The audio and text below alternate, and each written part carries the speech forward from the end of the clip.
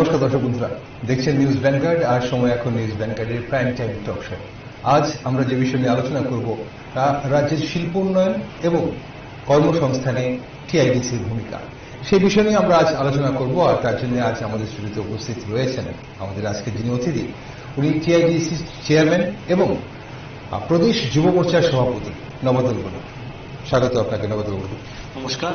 News ব্যাংকারের সকল পরিবারের সকল সদস্যদেরকে অনেক অনেক শুভেচ্ছা অভিনন্দন এবং রাজ্যের টোটাল আপনাদের যারা দর্শক বন্ধুরা যারা আছেন প্রত্যেককে নববর্ষের শুভেচ্ছা অভিনন্দন। আহ, আমরা শুরু করব আপনার কাছ থেকে জানতে চাইব শুরুতেই যে গতকাল আমরা যে বিনিয়োগকারীদের যে সম্মেলনটা হতে দেখলাম সেখানে আমরা শুনলাম যে প্রায় রাজ্যে তিনশো বারো কোটি এবং পয়েন্ট সামথিং লাখ বিনিয়োগ হচ্ছে। অনেক বিনিয়োগকারীরা দেশ বিদেশ থেকে এসেছিলেন। একটু যদি বিস্তারিত বলেন তাতে রাজ্যের কি লাভ হচ্ছে আগামী দিনে কি হতে পারে রাজ্যে এবং কি হয়েছে সেই সম্মেলনে? দেখুন গতকালকে যে রাউন্ড টেবিল বৈঠক হয়েছিল সেটা actually North East global summit যেটা হবে এটা সেপ্টেম্বর অক্টোবরে সেটা হবে দিল্লিতে। আচ্ছা। টেন্টেটিভলি ডেট ঠিক করা হয়েছে। তার মধ্যে এই সাবমিটটাকে কমপ্লিট করার জন্য আগে থেকে প্রত্যেক স্টেট ওয়াইজ নর্থ ইস্টের যতগুলো স্টেট আছে প্রত্যেকটা স্টেটের মধ্যে সেমভাবে রাউন্ড টেবিল মিটিং হবে। সেখানে এন্টারপ্রেনার ইনভেস্ট যারা করবে তারা আসবে সেখানে। তাদের সাথে রাজ্যের কোন কোন দিকগুলোতে শিল্পর দিক দিয়ে আরও বেশি রাজ্যকে এগিয়ে নিয়ে যাওয়া সম্ভব সেই দিকগুলা প্রত্যেকটা সেক্টর এবং এই রাজ্যের অ্যাডভান্টেজ কোন কোন জায়গাগুলোতে আছে শিল্পর দিক দিয়ে প্রত্যেকটা বিষয় প্রেজেন্টেশন করে। এবং যারা এই রাজ্যের মধ্যে অলরেডি বিগত দিন ধরে সাকসেসফুল যারা ইনভেস্টমেন্টরা যারা আছেন তাদের সাকসেসফুল স্টোরি প্রত্যেকের কাছে শোনানো হয়েছে। এবং সেই বিষয় নিয়ে গতকালকে যখন রাউন্ড টেবিল মিটিংয়ে প্রায় একশো একচল্লিশের উপর নিউ এন্টারপ্রেনার যারা দেশ এবং আমাদের সঙ্গে দেশে রাজ্যের বিভিন্ন প্রান্ত এবং আমাদের বাংলাদেশ থেকেও এন্টারপ্রেনাররা কালকে উপস্থিত হয়েছে। আচ্ছা। তার মধ্যে কিছু মৌ আমাদের সাথে স্বাক্ষর করা হয়েছে। এবং আমি যদি আপনাদেরকে বলি যে ত্রিপুরাতে কেন ইনভেস্ট করবে কেন শিল্প কারখানা লাগু করবে ত্রিপুরার মধ্যে আপনারা যদি দেখুন যে আপনাদের বাংলাদেশের সাথে কানেক্টিভিটি এবং তার সাথে সাথে সাউথ ইস্ট এশিয়ান রিজনের সাথেও আমাদের কানেক্টিভিটি ত্রিপুরার সাথে খুব আচ্ছা। ডিস্টেন্স কম এবং বাংলাদেশের সাথে আমাদের রেল ব্যবস্থাপনা ভারত বাংলাদেশের যে রেল ব্যবস্থাপনা এবং মৈত্রী সেতুর মাধ্যমে যে সড়ক ব্যবস্থা যোগাযোগের ব্যবস্থা সেটা কিন্তু অল্প কিছুদিনের মধ্যে যখন স্টার্ট আপ হয়ে যাবে তখন কিন্তু ত্রিপুরার মান উন্নয়ন এবং ত্রিপুরার ইন্ডাস্ট্রিয়াল চেহারা কিন্তু পাল্টে যাবে। আচ্ছা। সেটা বারবার বলা হচ্ছে। এবং যেমন ত্রিপুরার মধ্যে পাওয়ার সারপ্লাস আমাদের স্টেট এবং ইন্ডাস্ট্রিয়াল যারা আছেন যারা আসবেন তাদের জন্য সাবসিডিজ করা আছে ইলেকট্রিসিটির মধ্যে। হুম, রেলওয়ের কানেক্টিভিটি আপ টু সাবরুম অব্দি পৌঁছে গেছে। ন্যাশনাল হাইওয়ের আপনারা জানেন অলরেডি প্রায় ষাটটা ন্যাশনাল হাইওয়ের কাজ কমপ্লিটের পথে এবং আরও দশ এগারোটার কাজ ইতিমধ্যে শুরু হবে। এবং বিগত দিনে যদি আমরা দেখি শুধুমাত্র একটা হাইওয়ে ছিল ট্রেন বডরেজের ব্যবস্থাপনা ছিল না। হুম। মোদিজির সরকার যখন দুই হাজার চোদ্দ সালে যখন মোদিজির সরকার আসলো তখন থেকে নর্থ ইস্টের দিকে কাজ করা শুরু হয়েছে। আগে আচ্ছা। নর্থ ইস্টের দিকে সেইভাবে দেখতে শুধুমাত্র দেখতো নর্থ ইস্ট এবার কাজ করার দিক দিয়ে নর্থ ইস্ট এগিয়ে যাচ্ছে। আচ্ছা। আর আপনারা যদি এয়ারপোর্টের কথা বলুন আগরতলা এয়ারপোর্টের আপগ্রেশনের কথা বলুন নর্থ ইস্ট না শুধু সারা দেশের মধ্যে মানে টপ ফাইভ এয়ারপোর্টের মধ্যে এমবিবি এয়ারপোর্টটাও পড়ে তো এই কানেক্টিভিটি এবং সবচেয়ে বড় বিষয় হচ্ছে আমাদের এখানে ইন্ডাস্ট্রিয়াল এরিয়া আছে আঠারোটার মতন ইন্ডাস্ট্রিয়াল এরিয়া যার মধ্যে বারোটা অলরেডি কাজ চলছে আর ছটার ডেভেলপমেন্টের কাজ চলছে সেটার মধ্যে নতুন করে স্টার্ট আপ হবে।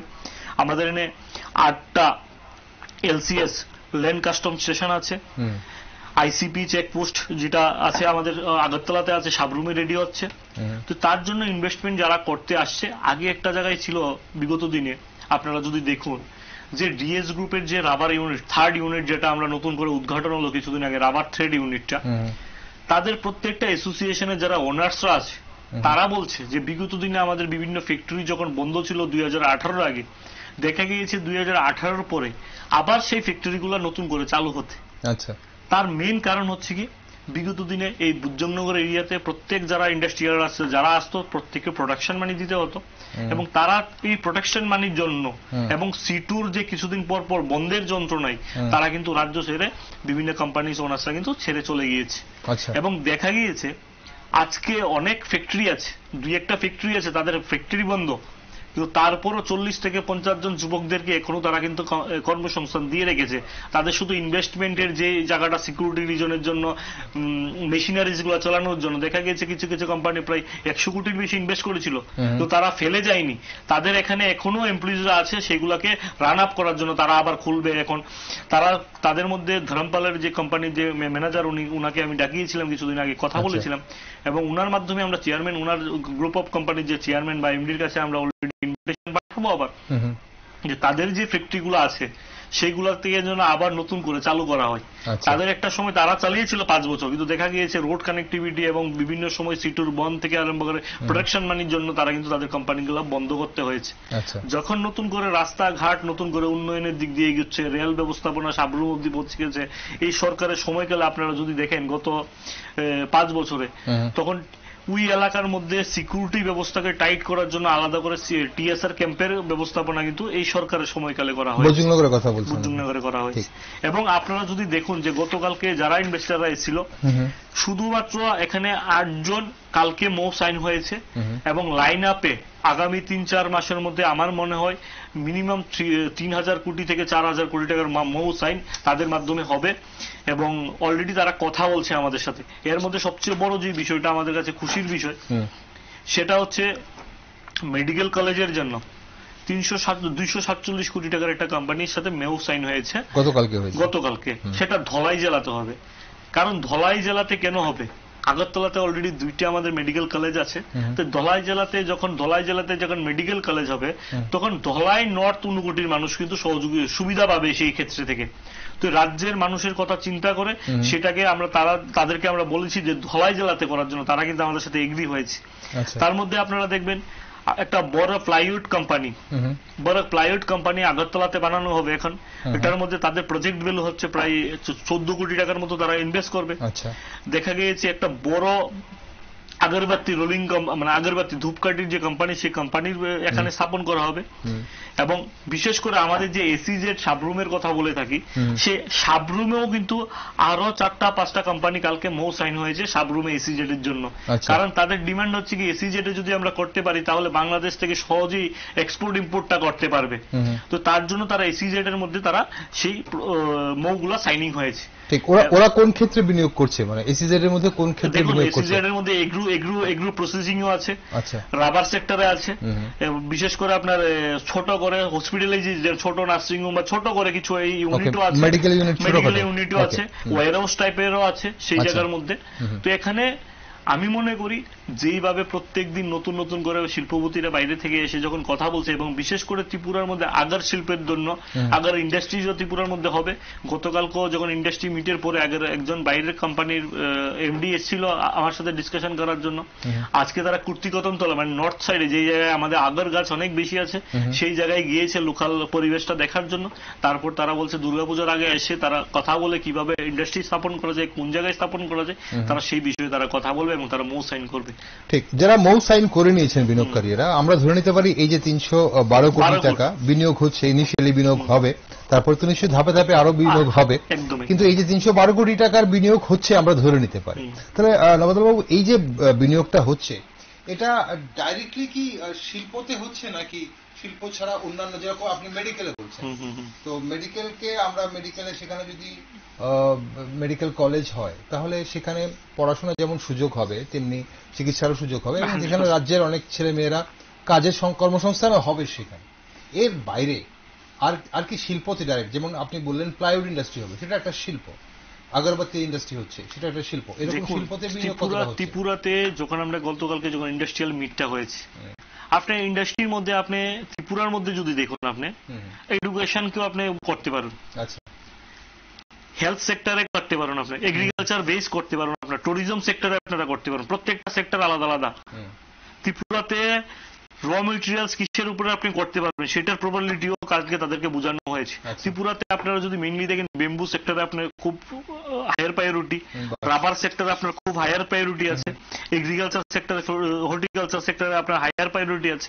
ট্যুরিজম সেক্টরে আছে ফুড প্রসেসিং এ আছে টিতে আছে আপনার বেম্বুতে আছে ইনফরমেশন টেকনোলজিতে আছে হায়ার এডুকেশন সেক্টরে আছে ফয়ার ফরেস্ট বেস আপনার আগের যে নাগর গাছ সেটার মাধ্যমে আপনার বেস করতে করে আপনি এগিয়ে যেতে পারবেন শিল্পকে নিয়ে। তো সেটা হচ্ছে আপনার শিল্প মানে যে শুধু ফ্যাক্টরি গুলা হুম, তো সেই দিকটা না। সার্ভিসের ক্ষেত্রে আপনাকে ইন্ডাস্ট্রির মধ্যে পড়ে সার্ভিসটাও। আচ্ছা। কারণ আপনি দেখা গিয়েছে ত্রিপুরাতে দেখা গেছে আপনার অনেকগুলো গাড়ির কোম্পানি আছে। ত্রিপুরাতে দেখা গিয়েছে যে গাড়ির কোনো কোম্পানি যদি এখানে আসে যে আমি এখানে গাড়ি বানাবো কিন্তু আপনি যদি দেখুন ত্রিপুরাতে গাড়ি বানানোর স্কিল লেবার কোথা থেকে আসবে? তো এখানে বড় সার্ভিস সেন্টারও খুলতে পারে। আচ্ছা। সেই সেই ক্ষেত্রেও কিন্তু কর্মসংস্থানের ব্যবস্থাপনা হবে। এবং প্রত্যেকটা জায়গায় আমাকে বুঝতে হবে যে কোন জায়গায় প্রায়োরিটি বেস করে আমাদের করতে হবে। রাবার ইউনিটের দিক থেকে তো শিব ত্রিপুরা সবচেয়ে বেশি সাকসেসফুল হবে এবং আমি মনে করি যে আগামী দিনে ত্রিপুরাতেই টায়ার উৎপন্ন হবে। কারণ ত্রিপুরার রাবার নিয়ে আরেকটা দেশে আরেকটা রাজ্যে গিয়ে কিন্তু টায়ার উৎপন্ন হচ্ছে। তো আমি মনে করি ত্রিপুরার রাবার ইউনিট ত্রিপুরাতে যেহেতু কাঁচামালের দিক দিয়ে রাবার সবচেয়ে হাইয়েস্ট তো আমি মনে করি যে ত্রিপুরাতে বেম্বো এবং রাবার সেক্টরে সবচেয়ে বেশি ডেভেলপমেন্ট হবে এবং সেই দিক থেকে করবে। এবং সার্ভিসের দিক থেকে যদি- যদি বলুন আপনি হেলথ সেক্টর থেকে আরম্ভ করে এডুকেশন থেকে আরম্ভ করে সেটাও সবচেয়ে বড় বিষয়। কালকে ইন্ডাস্ট্রিয়াল সাবমিটের মধ্যে স্কিল ইউনিভার্সিটির জন্য অব্দি এসছে। এবং সবচেয়ে বড় বিষয় হচ্ছে তারা নিজেরা প্রাইভেট পার্টি থেকে অলরেডি ল্যান্ড কিনে নিয়েছে যে তারা আগামী দিনে তারা স্কিল ইউনিভার্সিটি খুলবে ত্রিপুরার মধ্যে। তো ত্রিপুরা আইটি এবং এডুকেশনের দিক দিয়ে আগামী দিনে নর্থ ইস্টের হাব হতে পারে। কারণ হেলথের দিক দিয়ে হতে পারে। কারণ আপনি দেখবেন ত্রিপুরাতে যখন একটা বেসরকারি হসপিটাল হয়েছে সেই হসপিটালে কিন্তু এখন বাংলাদেশ থেকেও লোক এসে কিন্তু এখানে ডাক্তার দেখাচ্ছে। প্রত্যেক দিন অনেক অনেক বাংলাদেশের পেশেন্টরা কিন্তু আসছে ত্রিপুরাতে। যখন আগামী জুন জুলাই জুন মাসে প্রবাবলি জুন মাস থেকে যখন আগরতলা থেকে বাংলাদেশের ফ্লাইট ব্যবস্থা চালু হয়ে যাবে তখন দেখবেন বাংলাদেশের পেশেন্ট পার্টি কিন্তু এপুলু চেন্নাই এপুলু না গিয়ে আগরতলাতে আসবে। তো আমি মনে করি আগামী দিনগুলোতে প্রত্যেকটা সেক্টরে ত্রিপুরার উন্নয়ন এবং বিশেষ করে আমাদের যুবকদের কর্মসংস্থান সেই দিক দিয়ে এগিয়ে যাবে এবং আমি আমার যুব ভাই বোনদেরকেও বলব স্কিল ট্রেনিং এর মাধ্যমে স্কিলিং এর ব্যবস্থাপনা প্রত্যেকের যেন অভিজ্ঞতা থাকে। আচ্ছা। কারণ দেখা গিয়েছে প্ল্যান করা হয়েছে আমি একটা ফ্যাক্টরি খুলবো কোনো পার্টি কোনো ইনভেস্টর প্ল্যান করেছে ফ্যাক্টরি খুলবে। দেখা গিয়েছে সেই সেক্টরে স্কিল লেবার নেই। তো অন্য রাজ্য থেকে তো এনে তো আর কাজ করা সম্ভব না। তো আমি আমার রাজ্যের প্রত্যেকটা সেক্টরে যেভাবে স্কিল ইন্ডিয়া ট্রেনিং হচ্ছে তো আমি আইটিএ হচ্ছে আমি বলব যে প্রত্যেককে ত্রিপুরাতে যেন ছেলেরা বা আমার যুব ভাই বোনরা প্রত্যেকে যেন স্কিল ইন্ডিয়ার মাধ্যমে ট্রেন আপ হয়ে যায়। তাহলে দেখবেন ত্রিপুরার ইন্ডাস্ট্রির মান আরও বেশি করে আসবে। ত্রিপুরাতে আমরা যদি দেখি স্কিল লেবারের সংখ্যা কিন্তু অনেকটাই কম। তো আমি মনে করি স্কিল দিক দিয়েও এগিয়ে আসতে হবে এবং ত্রিপুরা আগামী দিনে আইটি হাব হবে আমি বলে দিচ্ছি আমরা স্কিল এই ব্যাপারটা একটু পরে আসব আপনার কাছে একটু বিস্তারিত জানব না বদল বাবু। কিন্তু জানতে ইচ্ছে করছে যে কিছুদিন আগে আমরা দেখলাম জি টোয়েন্টি ইনভেস্টার মিট হলো। গতকালকে আপনারা বলছেন round global round table global meet হলো। এখানে হঠাৎ করে এই ধরনের বিনিয়োগকারীদের আগ্রহ কেন বাড়লো ত্রিপুরাতে? কেন ত্রিপুরাতে যেই যেগুলো কথাগুলো বলা হচ্ছে যেসব র মেটেরিয়ালসগুলো আছে বাঁশ বলুন রাবার বলুন চা বলুন বা অন্যান্য সেক্টরগুলো ট্যুরিজম বলুন এগুলো তো আগেও ছিল। হঠাৎ করে এই মুহূর্তে আগ্রহ বাড়ছে কেন? পরিবেশগতভাবে কি কোনো রকম দেখুন প্রথম কথা হচ্ছে জি টোয়েন্টির প্রতিনিধিরা ত্রিপুরাতে আসা। ত্রিপুরা প্রত্যেকটা মানুষের জন্য এই রাজ্যবাসীর জন্য সৌভাগ্যের ব্যাপার। তার জন্য আমরা মাননীয় নরেন্দ্র মোদীজিকে অনেক অনেক ধন্যবাদ জানাই। যে ছোট্ট রাজ্য ত্রিপুরা কখনো ত্রিপুরার মানুষ ভাবতে পারেনি যে ত্রিপুরাকে শুধু ভারতবর্ষে না পুরা বিশ্বের মধ্যে ত্রিপুরাকে হাইলাইট করা হয়েছে। পুরা বিশ্বের মধ্যে। এবং জি টোয়েন্টির যে এজেন্ডা আমরা যদি জি টোয়েন্টির যে এজেন্ডা আমরা যুব মোর্চা ওয়াই টোয়েন্টি চোপাল আমরা করেছি জি টোয়েন্টির যে মেইন মেইন এজেন্ডা গুলো আছে পাঁচটা এজেন্ডা সেই বিষয় নিয়ে কিন্তু আমরা যুবকদের মধ্যে ডিসকাশন চলছে। যে প্রত্যেকটা পাঁচটা এজেন্ডার মধ্যে আমাদের যুবকদের ভূমিকা কি থাকা দরকার? তার জন্য আমরা যুব মোর্চার পক্ষ থেকে আপনারা দেখেছেন যে সারা রাজ্যব্যাপী জি টোয়েন্টির এজেন্ডা গুলোকে নিয়ে এবং ত্রিপুরাতে যারা প্রতিনিধিরা এসেছেন তাদের পুরো বিষয় নিয়ে কিন্তু আমরা প্রত্যেকটা মন্ডলে মন্ডলে আমরা সেই কার্যক্রমগুলো করেছি। স্কুলে স্কুলে কলেজে ইউনিভার্সিটিতে আমরা সেই প্রোগ্রামগুলো করেছি। জি টোয়েন্টির মেইন এজেন্ডা হচ্ছে শক্তিশালী অর্থনীতি। আচ্ছা। শক্তিশালী অর্থনীতি যদি আমরা করতে যাই তাহলে শিল্প এটা সবচেয়ে বড় বিষয়। এবং তার মধ্যে স্টার্ট আপের মাধ্যমে ইয়তদেরকে কীভাবে এগিয়ে আসতে পারবে সেটাও ইয়তদেরকে উম, থাকতে হবে। স্বাস্থ্য ব্যবস্থাকে শক্তিশালী। তো স্বাস্থ্য ব্যবস্থা যদি শক্তিশালী করতে হয় তাহলে স্বাস্থ্য ব্যবস্থার পরিকাঠামো ঢালিয়ে ঢালিয়ে সাজাতে হবে। এবং প্রত্যেকটা সেক্টরে বা বাকি যে এজেন্ডা গুলো আছে কৃষক কৃষি সেক্টরে সেটা তো জি টোয়েন্টির আমি বলছি আপনাকে এবার আপনারা যে প্রদেশের মধ্যে যেই রাজ্য ছোট্ট রাজ্য যার মধ্যে সায়েন্স সায়েন্স কনফারেন্স হয়েছে তো স্বাভাবিক জি টোয়েন্টির প্রতিনিধিরা যখন এসছে তখন অন্যান্য রাজ্যের যে প্রত্যেকটা বিষয় ত্রিপুরাকে নিয়ে যে চর্চা হয়েছে ত্রিপুরা ত্রিপুরার বিষয় নিয়ে যে আলোচনা হয়েছে পুরো বিশ্বের মধ্যে তারপর থেকে কিন্তু বিনিয়োগকারীরা ত্রিপুরার প্রতি বিশ্বাস আরও বেড়ে গেছে যে সেখানে আমরা করা সম্ভব। আচ্ছা। এবং বিগত দিনে কি হয়েছে? আমি আপনাকে বলছি বিগত দিনে যারা যারা ফ্যাক্টরি লাগিয়েছিল প্রত্যেককে কমিউনিস্টের নেতারা এবং তাদের যারা মাফিয়া গোষ্ঠীরা যারা ছিল আপনারাই জানেন প্রত্যেকটা নিউজ চ্যানেলে আপনাদের মাধ্যমে আমরা সারা রাজ্যকে দেখিয়েছেন। দেখা গিয়েছে বণিক্কা চৌমনি বা আপনাদের যে বুজ্জনগর এরিয়া মানে শুধুমাত্র মাফিয়ার কারখানা সেখান থেকে শিল্প উন্নয়ন হয়নি। সেখান থেকে মাফিয়ার উন্নয়ন হয়েছে মাফিয়াদের কারখানা বানিয়ে দিয়েছিল একটা সময়ে। প্রোটেকশন মানি লাগতো সেখানকার তো সেই জায়গাগুলো যখন যে যে ফ্যাক্টরিটা বন্ধ হয়েছিল সেই ফ্যাক্টরিটা যখন দেখল দুই হাজার আঠারো উনিশ বিশে আবার নতুন করে স্টার্ট আপ করল তো তাদের যে মেসেজ ভারতীয় জনতা পার্টি সরকারের সময়ে স্টার্ট আপ হচ্ছে নতুন করে চালু হচ্ছে যেটা বন্ধ ছিল। এবং তাদের সময় বন্ধ তাদের সময় বন্ধ ছিল সেই মেসেজটা গুড মেসেজটা কিন্তু সারা দেশের এবং বিদেশের শিল্পপতিদের সামনে কিন্তু চলে গিয়েছে। এবং ত্রিপুরাকে নিয়ে যেভাবে মোদিজি স্বপ্ন দেখেছেন এবং ত্রিপুরাকে নিয়ে যে ছোট্ট একটা রাজ্য একটা সময় মনে হতো দুইটা এমপি সিট ত্রিপুরাতে কিসের উন্নয়ন হবে? দেখা গিয়েছে ত্রিপুরার মধ্যে ছোট্ট স্টেটের মধ্যে প্রত্যেকটা দপ্তরকে ঢালাও হারে কেন্দ্রীয় প্রকল্পের পয়সা দিচ্ছে। আমাদেরকে বলা হচ্ছে শুধু কাজ করে ত্রিপুরাকে সাজানোর জন্য মডেল স্টেট বানানোর জন্য। তো সেই দিশায় মাননীয় ডক্টর প্রফেসর মানিক শাহজির নেতৃত্বে সেই কাজটা করে যাচ্ছেন নবাবু আপনি যেগুলো বলছেন সে অবশ্যই যে বিনিয়োগকারীরা বিনিয়োগ করছেন এবং সেটা রাজ্যের জন্য নিশ্চয়ই ভালো হবে। আগামী দিনে এখানে অনেক কর্মসংস্থান হবে সেটাই আমরা আশা করছি। এখন কথা হচ্ছে যে টিআইডিসির বিভিন্ন পদক্ষেপে এই বিনিয়োগকারীদের বিনিয়োগ করছেন বা আমরা নতুন কলকারখানা হবে আমরা ধরে নিচ্ছি। এই টিআইডিসির বিভিন্ন পদক্ষেপের মধ্যে রাজ্যের যুবরা যুবদের কর্মসংস্থানের সম্ভাবনাটা কতটা প্রকট হচ্ছে? দেখুন আমি যুব ভাই বোনদের কাছে আমি প্ল্যান করেছি অলরেডি টিআইডিসি দপ্তরের ডাইরেক্টর মানে ইন্ডাস্ট্রি এন্ড কমার্সের ডাইরেক্টর মানে আমার এমডি ওনাদের প্রত্যেকের সাথে আলোচনা হয়েছে। প্রথম কাজ হচ্ছে কি দেখুন এই রাজ্যের যুব ভাই বোনদেরকে ইন্ডাস্ট্রিয়াল এরিয়া ভিজিট করাতে হবে ফিজিক্যালি আচ্ছা। কারণ দেখুন এখন কি হচ্ছে আমাদের ব্যাংকে গিয়ে বলছে যে এই প্রজেক্টটা করব লোন দেওয়ার জন্য। ব্যাংক ম্যানেজার যখন জিজ্ঞাসা করে যে প্রজেক্টটা কীভাবে করবে কি মেশিনারিজ লাগবে সে বলতে পারছে। আচ্ছা। তার আইডিয়াস নেই। এবং দেখা গিয়েছে একটা সময় সত্যি পিএমইজিবি স্বাবলম্বর বিভিন্ন লোনের ক্ষেত্রে দেখা গিয়েছে প্রত্যেকটা মানুষের মধ্যে টেন্ডেন্সি এসে পড়েছে যে গভর্নমেন্ট থেকে লোন নিলে সে পয়সাটা দিতে হয় না। তার জন্য কিন্তু ব্যাংক তার ব্যবস্থাপনাকে একটু আরও বেশি করে টাইট করে ফেলেছে। এবং আমরা যেই জায়গায় আমাকে যখন বলে যে টিআইডিসি থেকে কি সহযোগিতা পাবে যে যে কোনো যখন আমার কাছে যুবরা প্রশ্ন করে আমি প্রত্যেক যুব ভাই বোনদের কাছে বলব মিনিমাম এইডি নগর আর কে নগর বাদারঘাট বা বাদারঘাট এইডি নগর আর কে নগর বুজ্জংনগর মিনিমাম চারটা ইন্ডাস্ট্রিয়াল এরিয়া আপনারা ভিজিট করুন এবং আমি অলরেডি আমার ডিপার্টমেন্টের সাথে আলোচনা করা হয়েছে। ডিপার্টমেন্টের তরফ থেকে প্রত্যেক জেলা থেকে কমসে কম প্রথম অবস্থায় একশো জন যুব ভাই বোনদেরকে আমাদের প্রত্যেকটা ইন্ডাস্ট্রিয়াল এরিয়া ভিজিট করাবো ফিজিক্যালি এবং নেক্সট ডেটে তাদের এলাকাতে, তাদের জেলাতে গিয়ে বিভিন্ন স্কিম সম্বন্ধে বিভিন্ন পলিসির সম্বন্ধে ব্যাংকার্সদেরকে নিয়ে যারা যারা সাকসেসফুল ইন্ডাস্ট্রিয়ালরা যারা আছেন তাদের সাকসেসফুল স্টোরিকে নিয়ে তাদের সামনে শোনানো হবে এক একদিনে পুরো ওয়ার্কশপ হবে। আচ্ছা। এবার যে লোকটা যে ছেলে মেয়েরা যারা যুব ভাই বোনরা যারা ফিজিক্যালি ভিজিট করবে প্রত্যেকটা সেক্টর যখন তারা দেখতে পারবে তখন তাদের মানে আরও বেশি ইচ্ছা শক্তি আরও কিছু করার উদ্যম সেটা বেড়ে যাবে আমার মনে হয়। তার জন্য আমি মনে মনে ভাবছি যে সেই প্রকল্পটাকে চালু করার জন্য এবং আগামী দিনে সত্যি সেই প্রকল্পটাকে চালু করব আগে।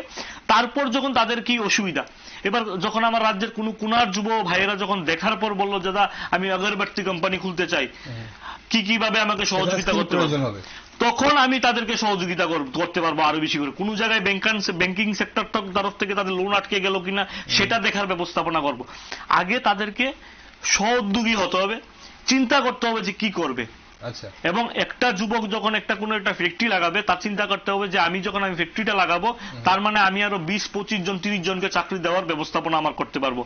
এবং যাদের যাদের সম্ভব হয় যারা করার ইচ্ছা আছে তাদের প্রত্যেকে হান্ড্রেড পার্সেন্ট করতে পারবে এটা আমি বিশ্বাস করি।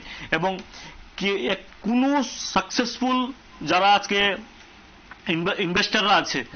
তাদের স্ট্রাগলও ছিল তিন চার বছর। প্রত্যেকটা জার্নিতে আমি মনে করি আপনি মন প্রাণ বিশ্বাস দিয়ে যদি আমি সেই কাজটা করেন তিন চার বছর স্ট্রাগল করে হান্ড্রেড পার্সেন্ট আপনি সাকসেসের দিকে আপনি এগিয়ে যাবেন কোনো জায়গায় আটকে থাকবেন না। যদি আমি করব না না করব কবে করব না পিছিয়ে পড়ব সেটা যদি চিন্তা করেন আপনি কখনো সাকসেসফুল হতে হবে না। শুধু পজিটিভ চিন্তা রাখতে হবে মনের মধ্যে নেগেটিভিটিকে সরিয়ে আগে এগিয়ে যেতে হবে। নবদবাবু এখানে আমাদের রাজ্যে যখনই ইন্ডাস্ট্রির কথা হয় যখনই শিল্পের কথা হয় তখনই একটা কথা উঠে আসতো বারবার চর্চায় যেটা হচ্ছে যে বহিরাগত শিল্প উদ্যোগীরা বা শিল্পপতিরা আসেন, রাজ্যে আসেন, এখানে একটা কড়া সাবসিডি পাওয়া যায়, একটা ভালো অঙ্কের সাবসিডি পাওয়া যায়। দু তিন বছর শিল্পটা করেন, কিছু রাজ্যের কিছু মানুষকে সেখানে কর্মসংস্থানের ব্যবস্থা করেন। তারপর দু তিন বছর পর ওনারা সাবসিডিটা নিয়ে ওনারা সেটা বন্ধ করে যান এবং সেখানে কিছু মানুষের কর্ম হারায় এবং সেই ট্রেনটা এখন কেমন দেখা যায়? দেখুন আপনি দেখুন গত পাঁচ বছরে বন্ধ হয়েছে কিনা। প্রথম কথা হচ্ছে ট্রেনটা গত পাঁচ বছরটা দেখতে হবে আপনার পজিটিভ দিকটা। এবং আমি আপনাকে বারবার বলি শুধু ত্রিপুরাতে বেশি সাবসিডি এর কম না কিন্তু। পুরা নর্থ ইস্ট স্টেটের জন্য সেই গভর্নমেন্ট অফ ত্রিপুরা ইন্ডিয়া থেকে সেই পলিসি বানানো হয়েছে। যে নর্থ ইস্টকে কীভাবে এগিয়ে নিয়ে যাওয়া যাবে তার জন্য শুধু স্টেট গভর্নমেন্টের না সেন্ট্রাল গভর্নমেন্টের অনেকগুলো স্কিম আছে আচ্ছা। এই রাজ্যের মধ্যে। এবার যদি আপনারা দেখুন ত্রিপুরা কেন? ত্রিপুরা এবং আসাম কেন? ত্রিপুরাতে যোগাযোগ ব্যবস্থাপনা আগে কি ছিল? পাঁচ বছর আগে কেউ যদি র মেটেরিয়াল আনতো তার মানে ট্রাক দিয়ে আনতে হতো ট্রেনের ব্যবস্থাপনা ছিল না। আজকে যখন র মেটেরিয়ালস আসা সম্ভব কীভাবে ডাইরেক্ট ট্রেন দিয়ে আসছে? এবং আপনি দেখুন আগে কোনোদিন বড় বড় রাইস মিল ছিল না আজকে বড় বড় রাইস মিল হচ্ছে। বাইরে থেকে র ধান ধান আসছে এবং ত্রিপুরার ধানও ক্রয় করা হচ্ছে। প্রত্যেকটা সেক্টরে আগে যদি আপনারা এরিয়াগুলো দেখুন উন্নয়নের দিক দিয়ে দেখুন তাহলে যোগাযোগ ব্যবস্থাকে বাড়াতে হবে। পরম্পরা কোনো জিনিস চলে না। গত পাঁচ বছরের আগে আপনারা রোড কানেক্টিভিটি ছিল না রেলওয়ে কানেক্টিভিটি ছিল না এয়ারওয়ের কানেক্টিভিটি ঠিকঠাক ছিল না। এখন প্রত্যেকটা কানেক্টিভিটির দিক দিয়ে ত্রিপুরা হীরা মডেলের দিকে এগিয়ে যাচ্ছে তার সাথে সাথে শিল্প কারখানাগুলো এগিয়ে যাচ্ছে। এবং আগে যে বিষয়গুলো ছিল যারা বন্ধ করেছিল তাদের তরফ থেকে আমরা যোগাযোগের ব্যবস্থাপনা করছি বড় বড় কোম্পানি যারা ছিল। এবং এমনও কোম্পানি আছে আপনাকে বলছি আমি যাদের আজকে অবধি দশ বছর আগে কোম্পানি বন্ধ হয়েছে। আচ্ছা। কিন্তু আজকে অবধি তাদের চল্লিশ জন পঞ্চাশ জন এমপ্লয়িকে বসিয়ে বেতন দিচ্ছে। দেখা গিয়েছে তাদের প্রজেক্ট ভ্যালু সাড়ে তিনশো কোটি টাকার প্রজেক্ট প্রজেক্ট লাগিয়েছে এখানে ইনভেস্ট করেছে। কিন্তু সেইটা পাহারা দেওয়ার জন্য সিকিউরিটি মেশিনটা রানিং অবস্থায় থাকার জন্য চল্লিশ থেকে পঞ্চাশ জন মানে ওনাদের সাথে কথা চলছে আপনাদের? অলরেডি এই টাইপের ওনাদের সাথে আমি আজকে সোমবার দিন সকালবেলায় ওনাদের তাহলে প্রশ্ন হচ্ছে আপনি কথা বলছেন তার মানে এখনও শুরু করেনি তাহলে বিগত পাঁচ বছরে কেন শুরু করেননি ওনারা? দেখুন আমি একটা কথা বলি। প্রত্যেকটা পাঁচ বছরে যদি আপনারা দেখুন পাঁচ বছরে দেখা গিয়েছে যদি টোটাল দশটা কোম্পানি বন্ধ থাকে। গিয়ে দেখবেন পাঁচটা ছয়টা কিন্তু স্টার্ট আপ করেছে আচ্ছা এবং আমি যার সাথে কথা বলেছি তারা ওয়েট করছে যে বাংলাদেশ এবং ত্রিপুরার. রেল কানেক্টিভিটিটা কবে চালু হবে আচ্ছা এবং তাদেরকে আমরা বললাম সেটা তো ডিসেম্বর জানুয়ারিতে চালু হয়ে যাবে আপনারা এখন থেকে প্ল্যানিং করুন। তাহলে তো আপনারা ডিসেম্বর জানুয়ারিতে স্টার্ট আপ করতে পারবেন। আচ্ছা। এবং তারা এগ্রি হয়েছে এবং তারা আমার সাথে আলোচনা করেছে তাদের অনেকগুলো ইউনিট ছিল মিনিমাম দুই তিনটা ইউনিট দুর্গাপূজার আগে চালু করা যায় কিনা সেই বিষয়ে তারা অলরেডি তাদের এমডি চেয়ারম্যানের সাথে ডিসকাশন করছে। এবং ম্যানেজারের সাথে যখন আমি এটা ডিসকাশন করেছি আমি বলেছি আমি নিজে ইনভিটেশন দেবো আমাদের তরফ দপ্তরের তরফ থেকে যে ওদেরকে আবার এসে তাদের ফ্যাক্টরিটা আবার চালু করা বাবু আমরা যখনই বাইরের শিল্পপতিদের কথা বলি আমাদের ত্রিপুরাতে ট্রেডিং মেন্টালিটি থাকে বেশিরভাগ মানুষ যারা ট্রেডিং করতে পছন্দ করেন হুম। বাইরে থেকে জিনিস কিনে আনছেন এখানে এনে বিক্রি করে দিচ্ছেন। এখানে ইন্ডাস্ট্রি করা মেন্টালিটি কম থাকে কারণ ইন্ডাস্ট্রি করার অনেকগুলো লুপ হোলস রয়েছে মানুষ এটা বলতেন যারা ইন্ডাস্ট্রিয়ালিস্টরা বলতেন যারা করেছেন। লোকাল ইন্ডাস্ট্রিয়ালিস্টরা তাদের অনেকগুলো কমপ্লেন ছিল আগে ছিল।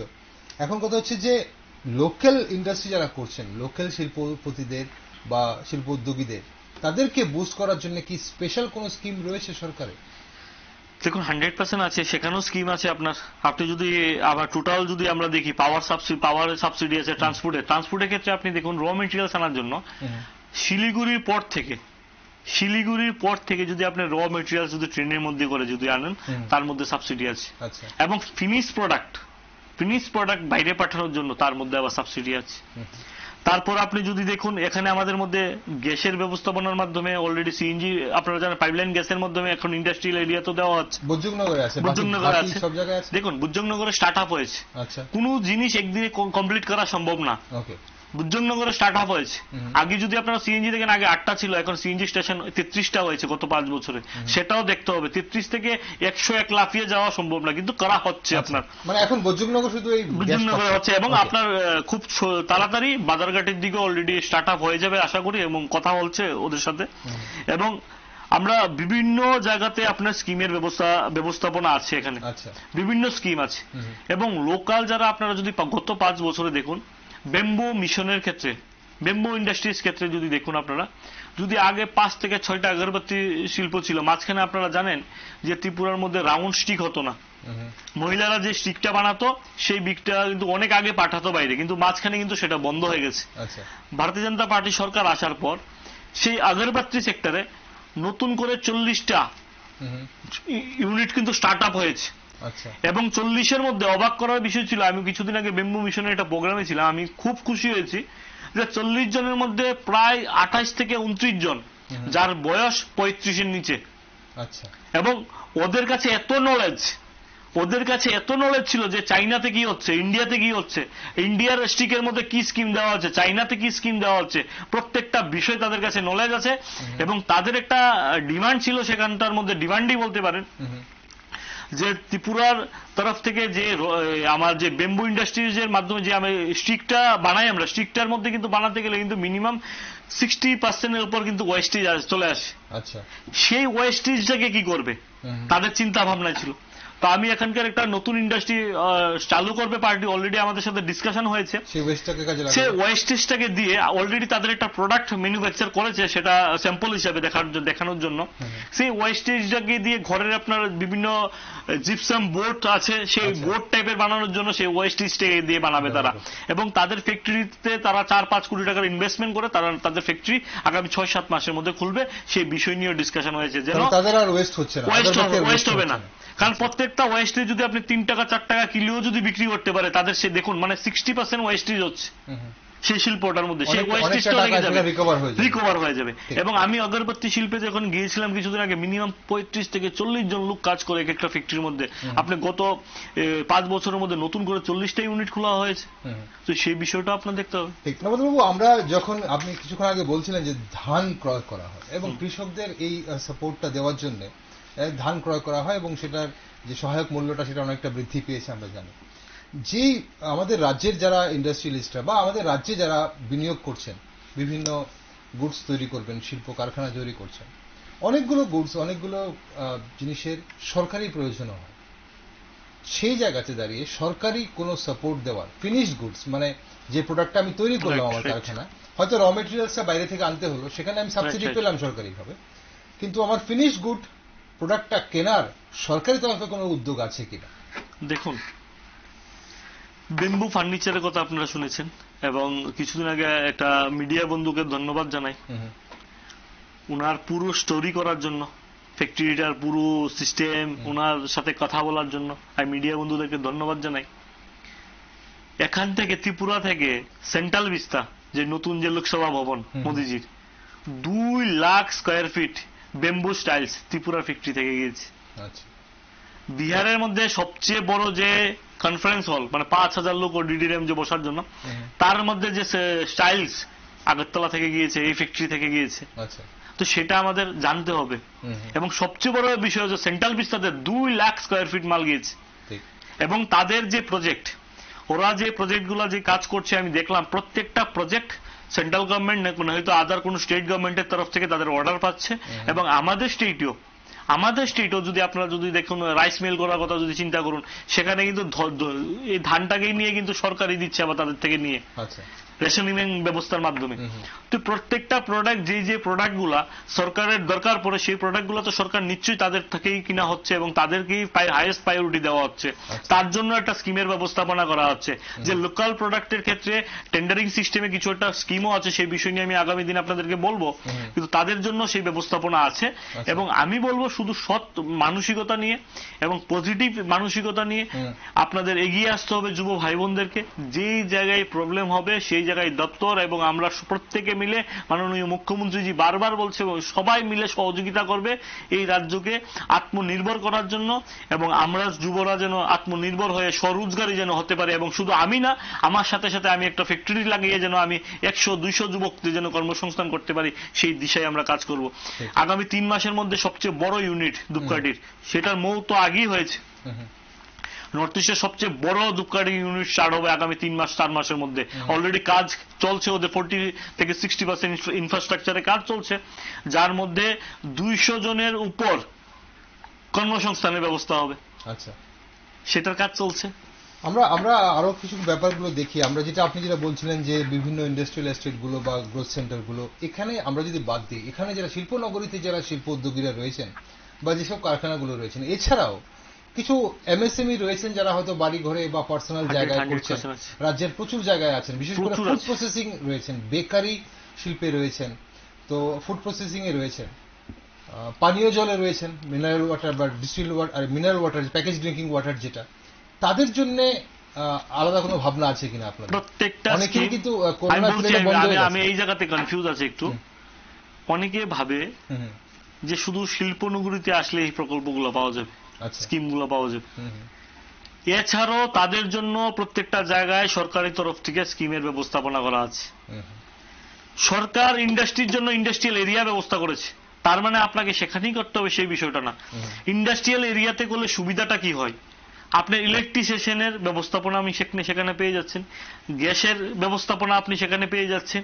এখানে রোড কানেক্টিভিটির ব্যবস্থাপনা সেখানে পেয়ে যাচ্ছেন। কিন্তু আপনি যদি নিজের এলাকাতে করতে যান দেখবেন আপনার নিজের নিজের তরফ থেকে ইলেকট্রিকের ব্যবস্থাপনা করতে হয় অনেক সময়। রোডের ব্যবস্থাপনা করতে হয় জলের ব্যবস্থাপনা করতে হয়। তো অ্যাডভান্টেজ নেওয়ার জন্য কিন্তু ইন্ডাস্ট্রিয়াল এরিয়াতে যাওয়া হয়। এবার এছাড়াও যারা নিজের মনে করে নিজেদের জায়গার মধ্যে যারা করছে তাদের জন্য কিন্তু প্রকল্প এই স্কিমগুলো তাদের জন্য এপ্লিকেশনটা আছে বিভিন্ন স্কিমগুলো সেই ক্ষেত্রেও কিন্তু তারা লাভবান হতে পারে। এবং আমি বলব যে আমরা অলরেডি সেই বিষয় নিয়ে সারা রাজ্যে যতগুলো ইউনিট আছে আমরা প্রথম অবস্থায় মনে করেন সেই কার্যক্রমগুলো হয়। বিভিন্ন সময় যখন আমাদের শিল্প মেলা যখন হয় তাদেরকে কিন্তু আমাদেরকে ব- ডেক- বলা আশা আসে তাদের শিল্প মেলাগুলা এবং সেখানে কিন্তু ডিসপ্লে ইউনিট করা হয়।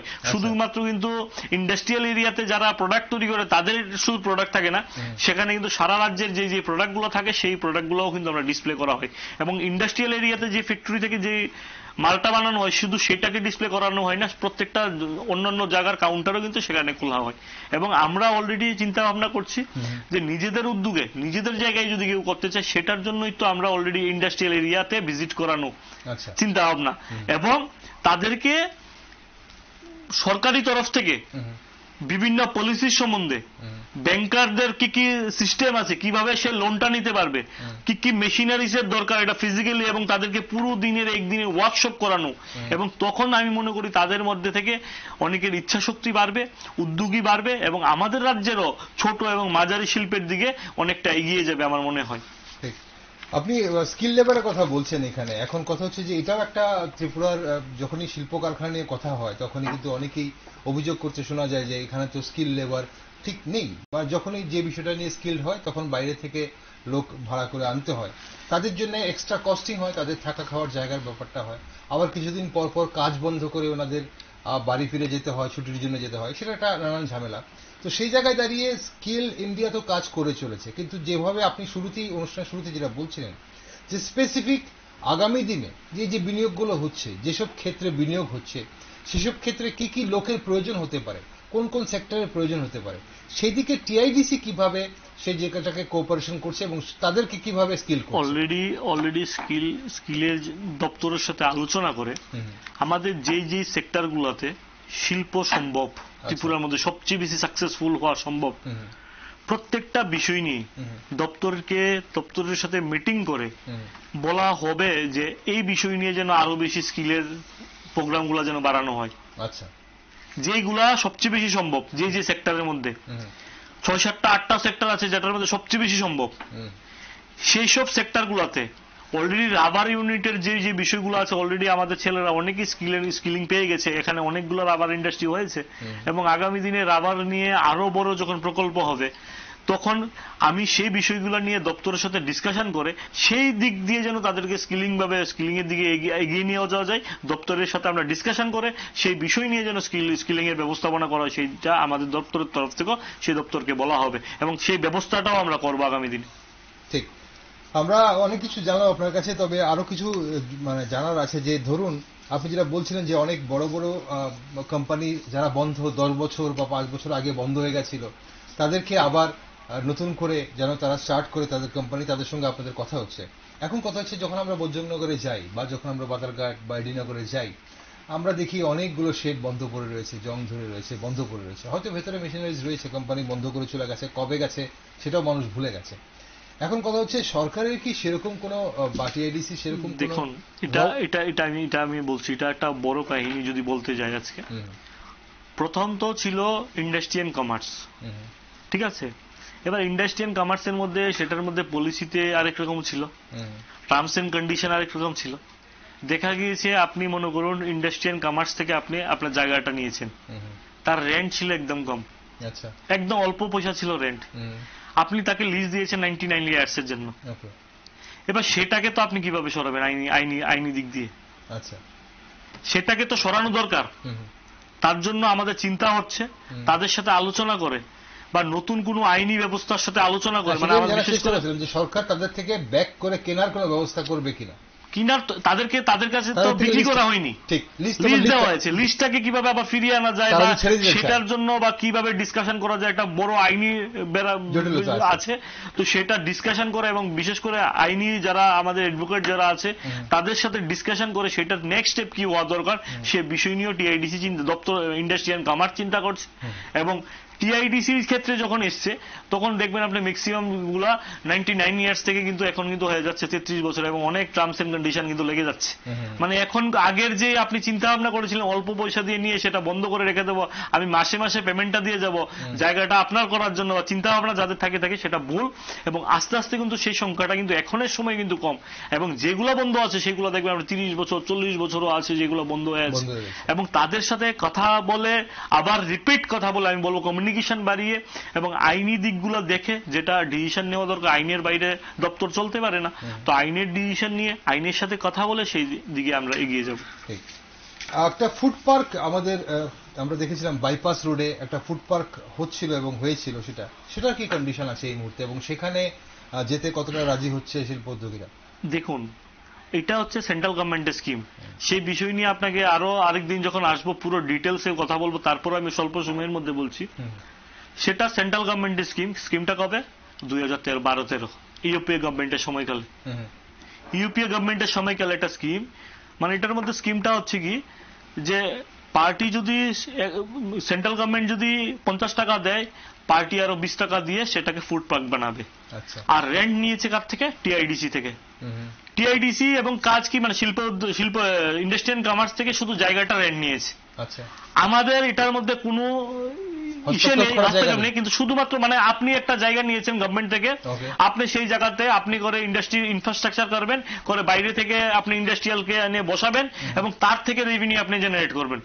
এটা হচ্ছে সেই স্কিম কিন্তু টিআরডিসি কি পয়সা পাচ্ছে? এবার দেখা যাচ্ছে টিআইডিসি যে পয়সাটা পানা আছে আমরা টিআইডিসি দপ্তরের তরফ থেকে অলরেডি আমরা আইনিভাবে আমাদের নোটিশ দেওয়া হয়েছে এবং আইনি যে প্রসিডিউর সেই প্রসিডিউরে যাবে টিআইডিসি এবং সেই স্কিমটা সম্পূর্ণ সেন্ট্রাল গভর্নমেন্টের স্কিম সেই স্কিমটা এসছে বারো তেরো সময়কালের স্কিম আপনারা জানেন প্রত্যেকে আচ্ছা। এবং সেই স্কিমের বিষয়ে তাদের যে স্কিমের যে সিস্টেমটা ছিল টিআইডিসি কে তারা শুধু র্যাঙ্ক দেবে আর এখানে যারা বসাতে হবে এখানে যারা ফ্যাক্টরি বসাবে ওই কোম্পানি ফ্যাক্টরি বসাতে হবে তারাই এখানে ডেভেলপমেন্ট করবে। সেটা ছিল স্কিমটা তো সেই স্কিমের মধ্যে আইনি জটিলতা আছে। তো আমরা আইনি জটিলতা অলরেডি আমরা সেই বিষয় নিয়ে আমি ডিসকাশন অল্প সময় পেয়েছি। তার মধ্যে কেন সেই বিষয়টা জানতে চেয়েছি জানার পরে যখন আমি জানলাম সেই এই বিষয় তখন আরও ভালো অ্যাডভোকেট যারা আছে তাদের সাথে রাজ্যের বড় সুনাম অ্যাডভোকেট অনেকে আছে। প্রত্যেকের সাথে ডিসকাশন করে সেই কাজটা করব। এবং আমি আপনাদের প্রত্যেকের মাধ্যমে বলে থাকি যে প্রত্যেকের সাজেশন নিয়ে।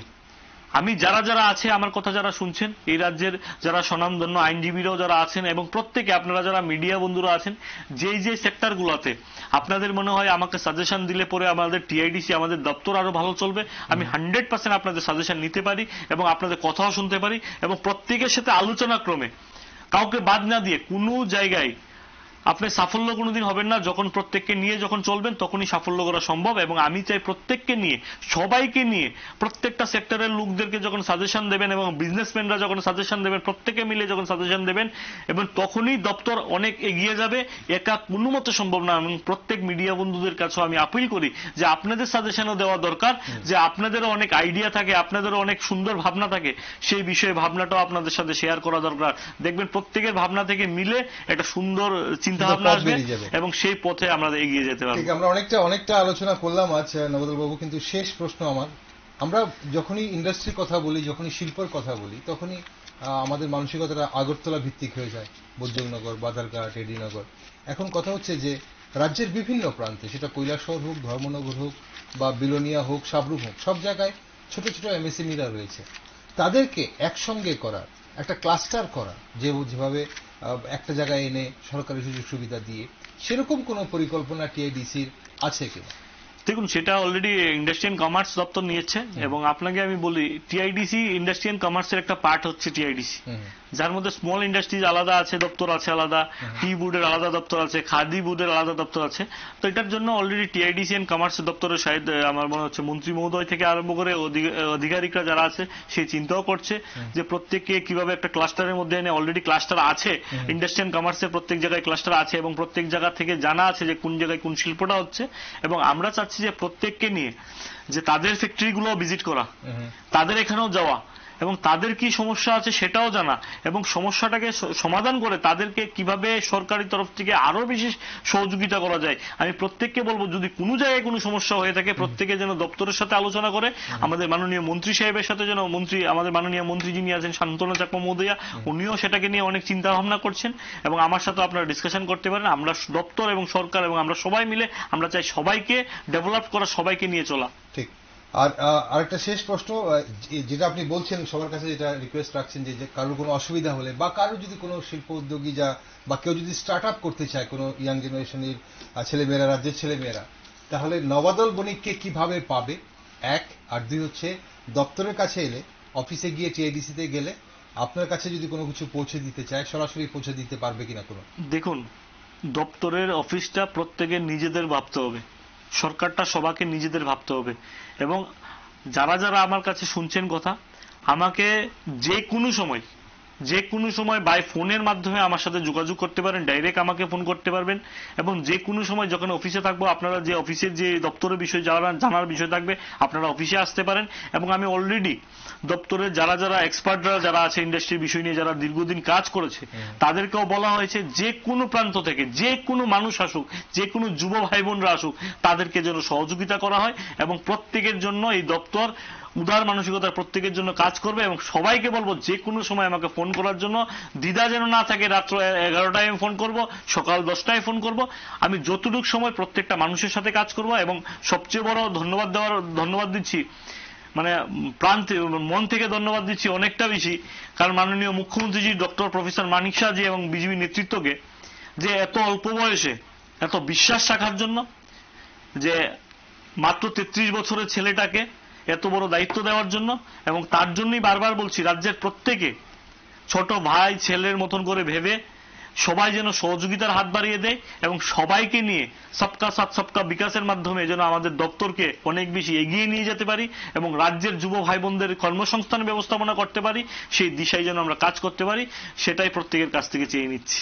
অসংখ্য ধন্যবাদ বাবু আপনাকে আজ। আমরা আজ টিআইডিসি চেয়ারম্যান হিসেবে কথা বললাম আপনার সাথে, তবে প্রদেশ যুব মোর্চার সভাপতির সাথে আরেকদিন আমরা বসে আলোচনা করব। আজকের জন্য ধন্যবাদ। নমস্কার। দর্শক বন্ধুরা এতক্ষণ আপনারা শুনছিলেন টিআইডিসি চেয়ারম্যান নবাদল বণিককে। আমরা রাজ্যের যে বিনিয়োগ হচ্ছে বিভিন্ন বিনিয়োগকারীরা দেশ বিদেশের বিনিয়োগকারীরা রাজ্যে আসছেন এবং আগ্রহ দেখা- দেখাচ্ছেন বিভিন্ন ক্ষেত্রে বিনিয়োগ করার এবং সেখানে রাজ্যের শিল্প স্থাপন হবে এবং বিভিন্ন ক্ষেত্রে সেটা ট্যুরিজম হোক মেডিকেল হোক এবং চা শিল্প রাবার শিল্প ব্যাম্বু, সবকিছুতেই কিন্তু একটা আমরা ছোঁয়া দেখছি, আগামী দিনের চিত্রটা পাল্টে যেতে পারে। তো সেই সব বিষয় নিয়ে আলোচনা করছিলাম, আমরা নজর রাখব টিআইডিসি কেমন কাজ করছে, কি কি করছে, এবং আপনারা তাই নজর রাখুন, শুধুমাত্র নিউজ ব্যাঙ্গল।